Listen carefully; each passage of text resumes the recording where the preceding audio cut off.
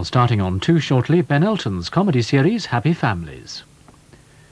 Here on BBC One in five minutes, the news, and at 9.35, the Terry Fox story tells the true tale of a teenage athlete's determination to triumph over a personal tragedy. The time is nine o'clock. There now follows a party political broadcast by the Labour Party.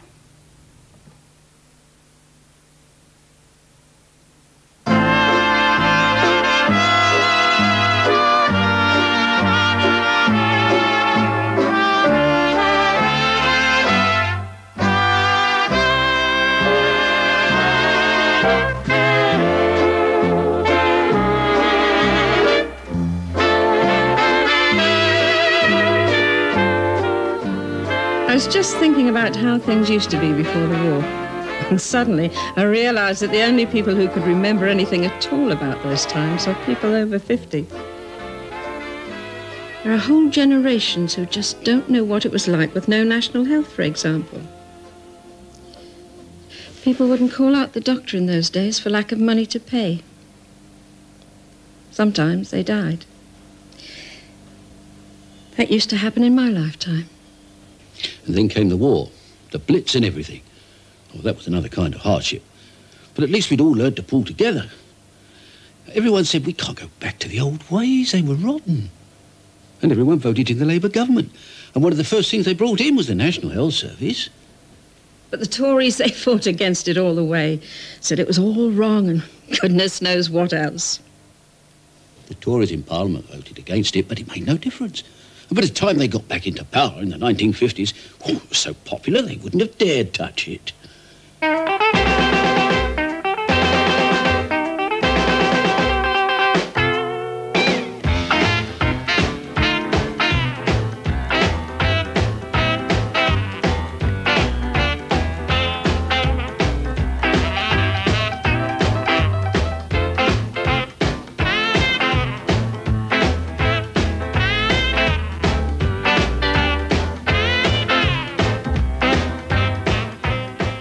I was born in the 50s, not that I can remember much about them.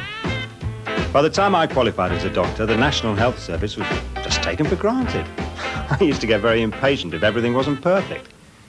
It was only when I started traveling abroad and learning about healthcare in other countries that I began to appreciate what we'd got here.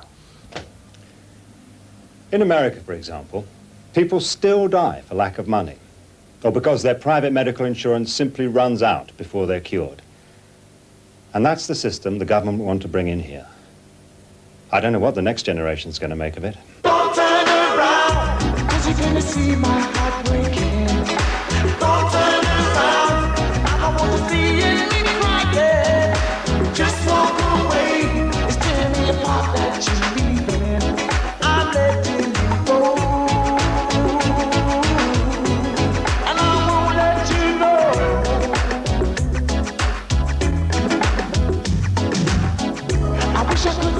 I was a victim of television violence.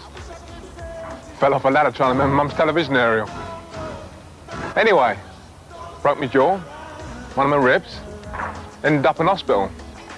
I'd never even been in hospital before, so it was all a bit new to me.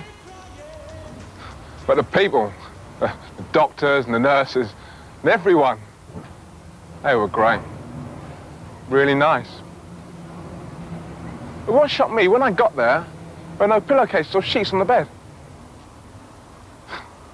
They're really sorry about it. Said it was because of cutbacks. Ridiculous, really, isn't it?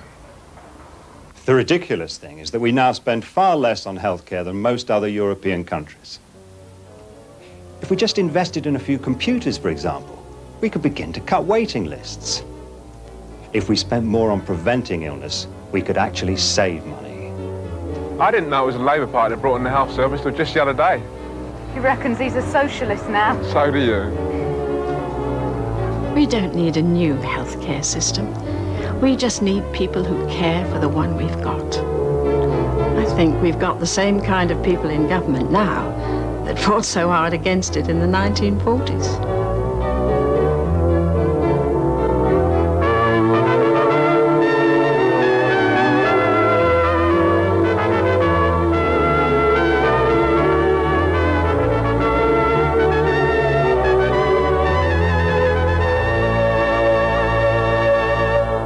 If you'd like to join the Labour Party, telephone 01200 0200 or write to the Labour Party, Free Post, London, E SE17 1BR.